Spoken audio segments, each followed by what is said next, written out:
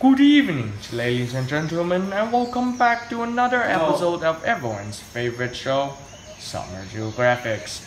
I'm your host, David Attenborough, and today we're going to take an in-depth look at the Badlands. Today we're going to start off by examining the most mysterious creature of all, the game eater potato.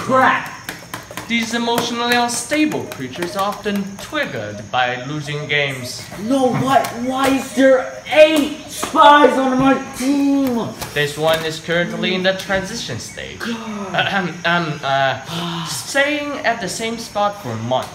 The body odor is just simply incredible. They feed off the sadness from the players they destroy, making them incredibly disturbing to observe.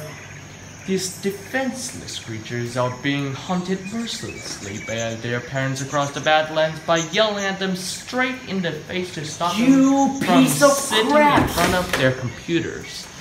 Although their finger exercise is on point, they are largely oblivious to their surroundings due to their extraordinary headwear and gaming experience, making them an easy target from time to time.